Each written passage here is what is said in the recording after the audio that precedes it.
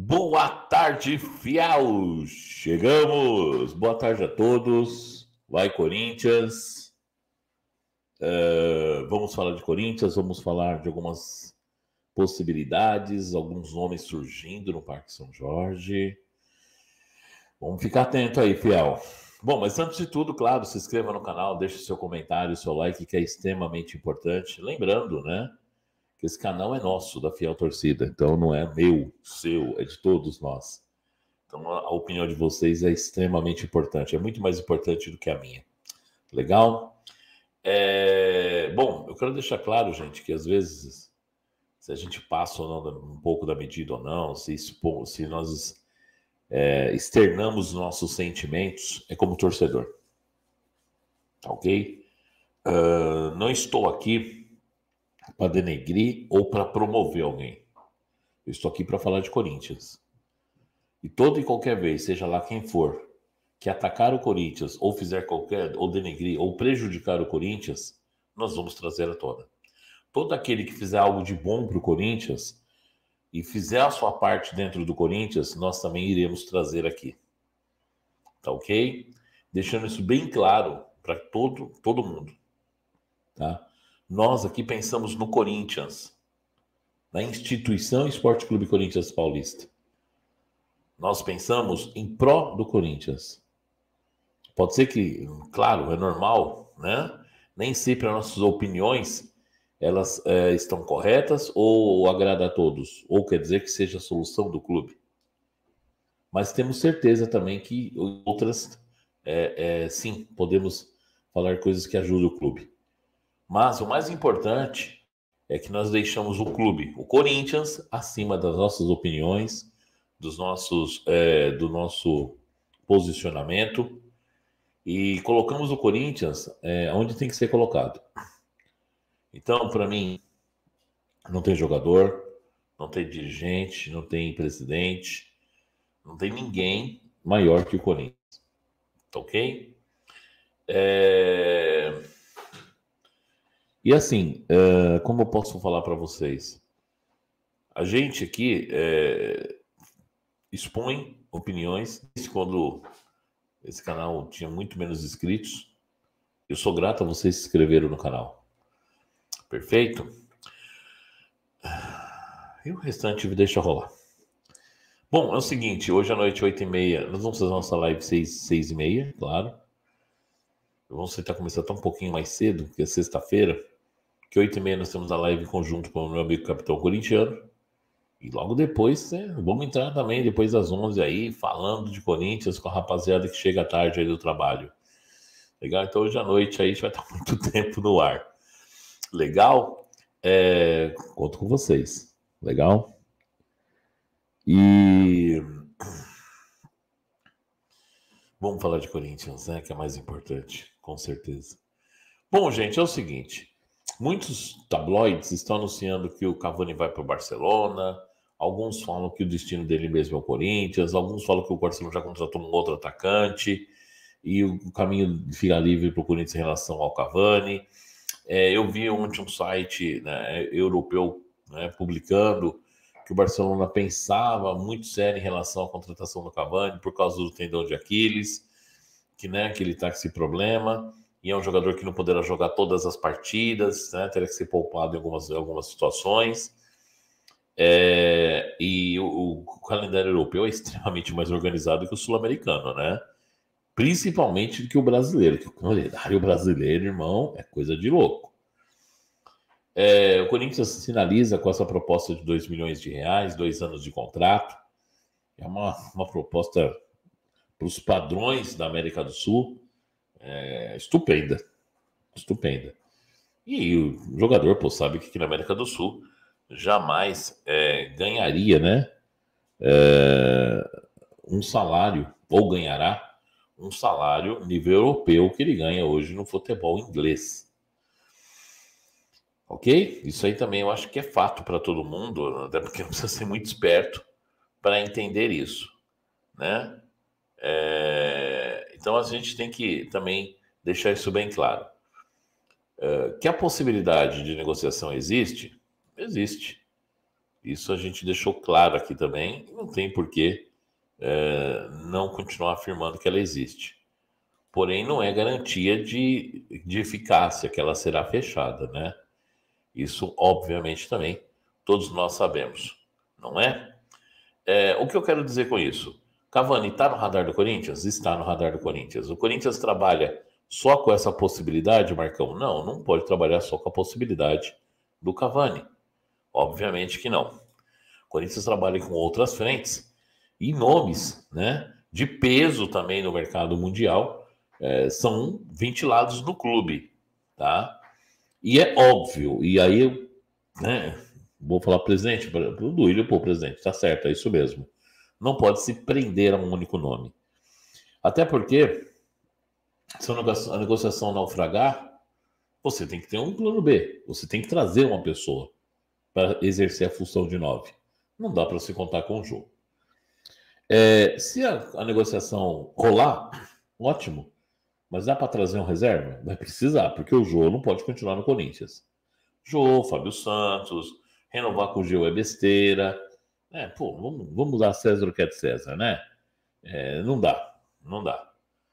É, é, Duqueiroz e, e Xavier é, hoje é infinitamente superior ao Gabriel. E já são posicionamentos que nós aqui sempre deixamos claro para vocês. Mas, é, há quatro meses atrás, eu falei que o Corinthians consultou o Diego Costa. Todo mundo brincou, tirou sarro da minha cara. E agora as notícias estão vindo à tona. No último dia 8, eu e o capitão estávamos conversando, e na hora que a gente estava batendo papo, chegou uma informação para o capitão uh, de uma pessoa extremamente confiável por, da nossa parte.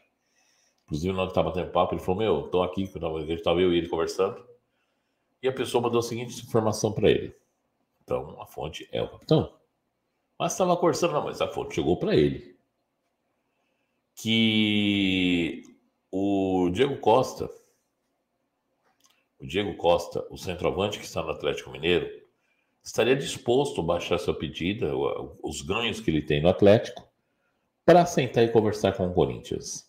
O Corinthians procurou o Diego Costa há quatro meses, sondou o jogador e na época ele pediu um caminhão e meio de dinheiro. Ele chegou a pedir 2 milhões de reais por mês. Hoje a situação é diferente. Ele não quer ficar na reserva, ele quer jogar lá no Atlético hoje ele vai disputar posição com o Hulk e vai ficar no banco. O Hulk foi considerado o melhor jogador do Campeonato Brasileiro, o melhor jogador da Copa do Brasil, o destaque do, Atlético Mineiro. Óbvio, a moral que ele tá, ele não vai ficar para um banco e nem disputar posição com ninguém. Hoje o Hulk é titular absoluto, ponto, acabou. Isso faz com que o Diego Costa não queira continuar no Galo. Né? É, segundo estamos sabendo, informações de bastidores, claro que não existe negociação ainda com o Corinthians, mas o staff do jogador vem com bons olhos ainda para o Corinthians. Já teve informações de pessoas de outros canais é, que não cobrem o Corinthians, tá? Também falando sobre isso, já se falou isso na imprensa mineira, tá ok? É, é, desse, dessa paquera aí, Diego Costa e Corinthians. Tá? O que está rolando de fato? De fato é o seguinte: o Corinthians trabalha com plano B. Ponto. E precisa trabalhar com esse plano B. Né? Uh, Diego Costa poderia ser esse plano B, Marcão? Sim. O jogador disposto a, a, a rever os seus ganhos. Ele quer jogar. Né? Mas aí ele tem um vínculo com o Atlético Mineiro até 31 de dezembro de 22. Será que ele consegue a liberação com o Atlético? Porque em junho ele já pode assinar um pré-contrato contra, contra a equipe. Será que ele sentando com, com, seu, com o seu procurador, é, demonstrando a insatisfação de ficar no banco, e um jogador com, com, com o salário dele é complicado manter no banco? Será que, nesse aspecto, pode rolar aí alguma coisa e ele desembarcar no Parque São Jorge? Pode ser. Pode ser. Não estou afirmando que há negociação, ok? Estou afirmando que há quatro meses atrás, eu, aí eu cravo para vocês, eu sustento o que eu disse, que o Corinthians consultou. E na época ele pedia 2 milhões de reais, queria dois, três anos de contrato. E o Corinthians é, não avançou nas conversações porque era surreal. Neste momento, segundo estamos sabendo, é, o jogador disposto a baixar sua pedida, e aí, claro, se torna-se viável para o Corinthians. Até porque, vamos supor que o Corinthians consiga contratá-lo por, pelo preço que paga hoje para os atacantes aqui, um milhão. É dinheiro pra caramba, né? O Corinthians teria mais um milhão para investir, então, em outro jogador, né? De salários. Quer dizer, o Corinthians pode buscar um segundo reforço. O que eu tenho é, é, um pouco de pé atrás com o Diego Costa é que ele se machuca muito, né? Ele vive no departamento médico, ele é um jogador meio, nesse aspecto, meio de vidro, né? E isso é um pouco preocupante. Por isso que eu estou dizendo, se tiver uma baixada legal, rebaixar bem os seus ganhos, e o Corinthians quiser fechar algo com ele, o Corinthians pode tentar um, outro, um segundo nome, tá ok? Mas a priori ainda é o Cavani. Até porque está uma especulação enorme, né? É, sites italianos colocando ele no Corinthians, é, sites espanhóis dizendo que o Barcelona o tem como terceira opção, é, o site argentino colocando ele já no Barcelona, né? O Nicola deu hoje a informação que ele foi, já está acertado com o Barcelona. É, o que nós sabemos, o Manchester, Manchester, o Manchester United libera o jogador na próxima janela, libera, sem problema nenhum. Até porque ele ganha uma fortuna lá, né? E para ficar no banco é complicado. E o Manchester também não vai ter interesse de renovar com ele. Então, a priori, ainda o Cavani é o nome da é a bola da vez. É, é, o nome que o Corinthians quer. Mas é, nada é, impede do Diego Costa ser o segundo nome. Né? Nada impede que, de repente, se o Diego Costa conseguir uma liberação uh, junto ao Atlético Mineiro, não se torne um nome interessante para o Corinthians. Muito pelo contrário. Né? Um time que quer bater campeão, que tem um projeto Tóquio, que tem um projeto de buscar o tri mundial, precisa se ter um elenco qualificado para isso. E principalmente um técnico.